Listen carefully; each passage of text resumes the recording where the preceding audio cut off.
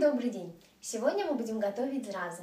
Это такие небольшие пирожки, в которых вместо теста картофельное тесто, а начинка любая. Э, может быть мясная, может быть э, капуста, может быть яйцо, в принципе, все, что есть дома под рукой, кладется в пирожки. Итак, что нам для этого нужно?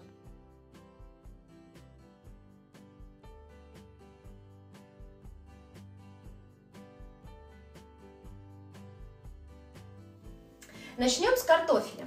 Я взяла 5 а, или 6 таких средних картофелин, порезала их, почистила и отварила. Как отваривается картофель а, для зраз? А, в подсоленной водичке обязательно в воду нужно кинуть лавровый листик, какую-то пучок зелени, например, петрушки или укропа, пару листочков зеленых, свежих, ну и можно душистый перчик горошком. Если нет горошка, можно, в принципе, взять молотый и щепоточку молотого. Вот я сегодня молотый брала, поэтому вот видите на картофелинах такие черные точечки. Это перчик. Но это ничего страшного, это вкусно. Э, тогда бульончик будет вкусный. Я знаю, что тоже кто-то даже добавляет немножко лука, потом выливает его, он не нужен лук. Ну, он дает вкус, и тогда тесто вот картофельное будет вкусное. Картошку нужно отварить, слить. Она не должна сильно развариться. Видите, она полностью готова, но она целенькая. И она должна полностью высохнуть. А, где-то она у меня полежала часа полтора после того, как отварилась. Она полностью холодная, остывшая и сухая. Вот это самый главный момент. Как только картошка сварится, сразу ее нужно сливать, чтобы она не напиталась водой. Вот такой, так приготавливается картофель для зраз. Что теперь нужно делать? Теперь мы берем толкушку, вот обычную. Можно взять мясорубку, у меня нет мясорубки. Но комбайн или вот э, миксер не подходит, потому что э, когда э, комбайн перемелывает картофель, он оставляет клейкость. Вся картошка такая, знаете, тягучая, и вот клейстер такой вот получается. Такого быть не должно. Или толкушкой, или на мясорубке. Хорошо, нам нужно ее потолочь вот таким образом. Но толочь нужно, чтобы не было комков. Попросите, может быть, мужа, или вам просто придется долго стоять толочь, чтобы не было меленьких комочков, быть не должно. Оно должно полностью быть однородным и без комков. Итак, давим картошку. Мы потолкли всю картошечку. Она у нас полностью однородная. Посмотрите, видите, однородная. И нету комочков. Хорошо, теперь берем яйцо. Нужно вбить одно яйцо. Одно яйцо и небольшой кусочек масла. Вот так.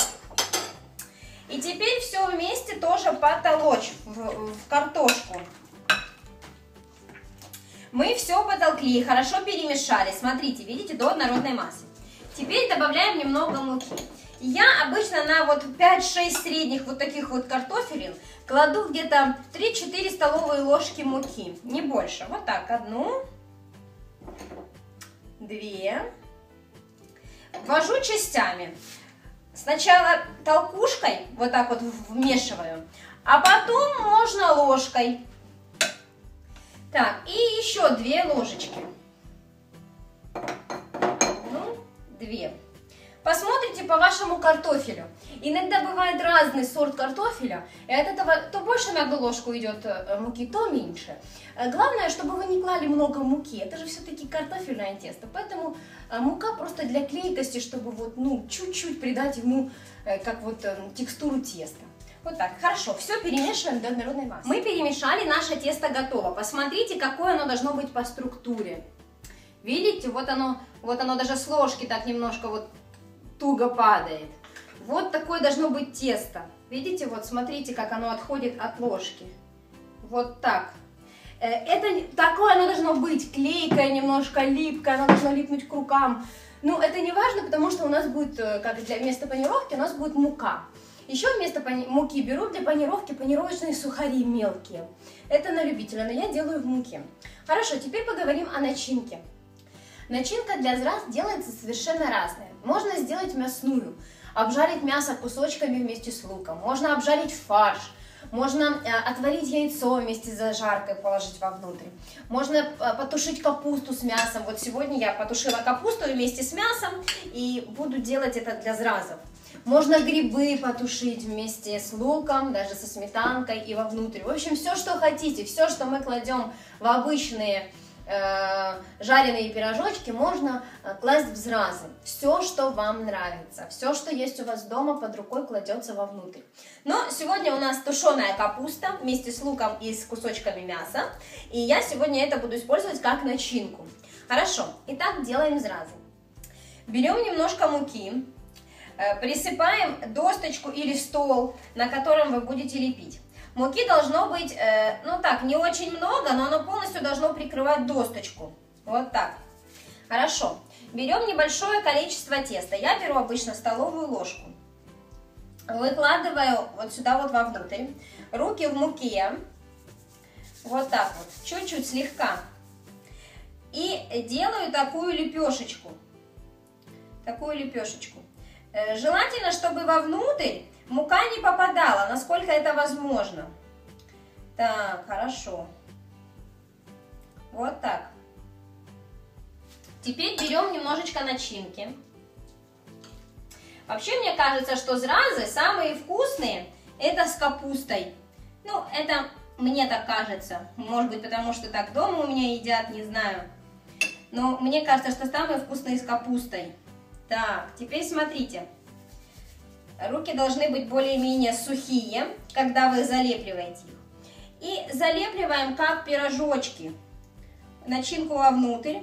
Делаем такой небольшой вареничек.